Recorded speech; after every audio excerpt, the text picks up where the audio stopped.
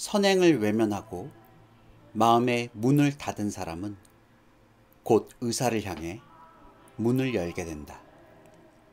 좋은 항아리를 얻으면 바로 그날부터 사용하라.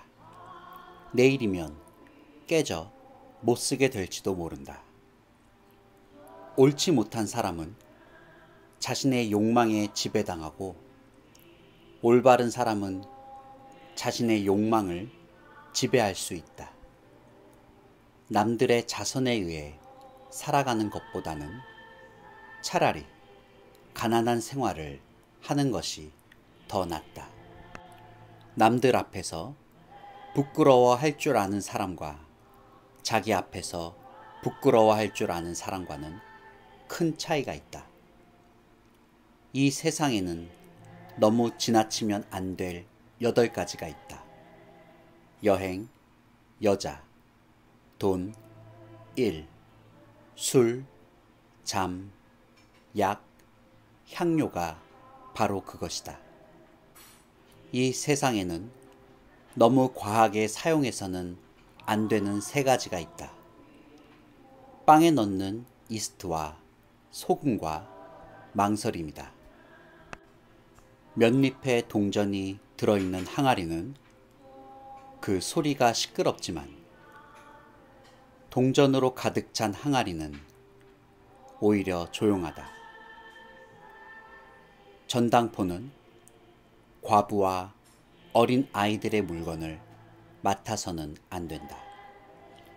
명성을 얻으려 쫓아가는 사람은 명성을 붙잡지 못하지만 명성을 피하는 사람은 오히려 명성에 잡히고 만다.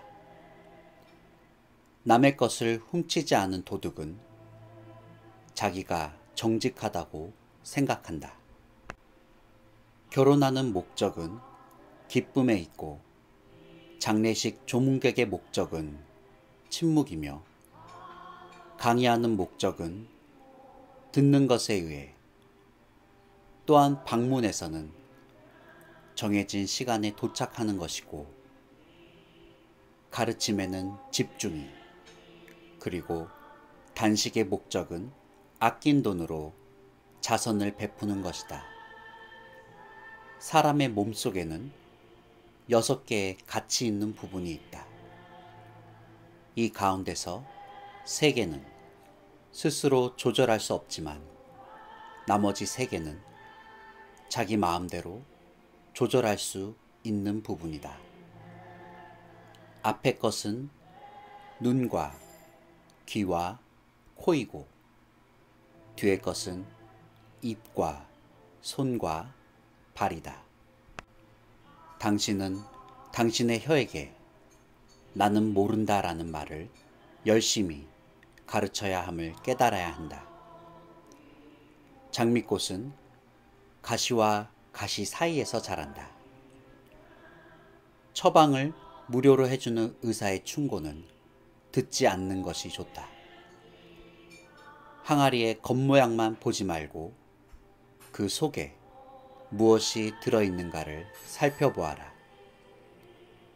나무는 열매로 평가되고 사람은 그가 이룩한 업적에 의해 평가된다.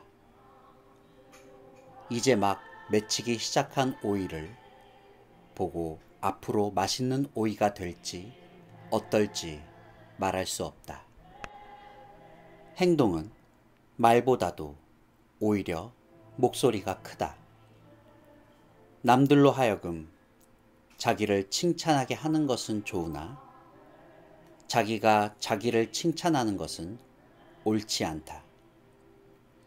아랫사람의 말을 듣는 훌륭한 사람이 있고 젊은이의 말에 귀를 기울이는 노인이 있는 세상은 축복받는다. 사람을 쉽게 늙게 하는 네 가지 원인은 공포, 분노, 자녀, 악처이다. 명곡과 조용한 풍경, 그리고 좋은 향기는 사람의 마음을 안정시켜주는 요소이다. 사람들이 자선에 관해 가지고 있는 태도에는 네 가지 유형이 있다.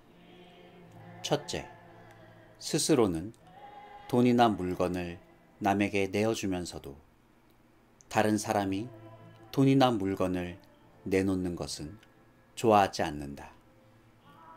둘째, 다른 사람이 자선을 베푸는 것은 바라면서도 자기는 자선을 베풀지 않는다. 셋째, 스스로 아낌없이 자선을 베푸는 동시에 남들도 또한 자선을 베푸는 것을 바란다. 넷째, 스스로 베푸는 자선도 싫어하고 다른 사람이 베푸는 자선도 또한 싫어한다. 여러분은 이 네 가지 유형 가운데 어디에 속하는가? 첫 번째는 질투심이 강한 사람이고 두 번째는 자기를 비하시키는 사람이며 세 번째는 선한 사람, 네 번째는 완전한 악인의 유형이다. 한 개의 촛불로 많은 양초에 불을 붙여도 그 촛불의 빛이 약해지는 것은 아니다. 이 세상에 살고는 있으나 쓸모가 없는 남자는 식사할 수 있는 내 집이 없고 언제나 마누라 엉덩이에 눌려 지내고 몸이 아파서 늘 괴로워하는 사람이다. 일생에 한 번 맛있는 요리를 실컷 먹고 다른 날에는 굶는 것보다는 평생 양파만 먹고 사는 게 더 낫다. 하나님이 기뻐하시는 세 가지 일이 있다. 첫째, 가난한 사람이 물건을 습득해 그 주인을 찾아 돌려주는 일. 둘째, 부자가 자기 수입의 10분의 1을 아무도 모르게 가난한 사람에게 나누어 주는 일. 셋째, 번화한 도시에 살고 있는 독신자가 죄악을 범하지 않는 일. 장사꾼이 해서는 안 되는 세 가지 일이 있다. 첫째, 과대나 허위 선전을 하는 일. 둘째, 돈벌이를 해 매점 매석하는 일. 셋째, 계량을 속이는 일. 맛있는 과일에 벌레가 더 많이 꼬이듯 재산이 많으면 그만큼 근심도 많고 여자가 많으면 또한 투정도 많다.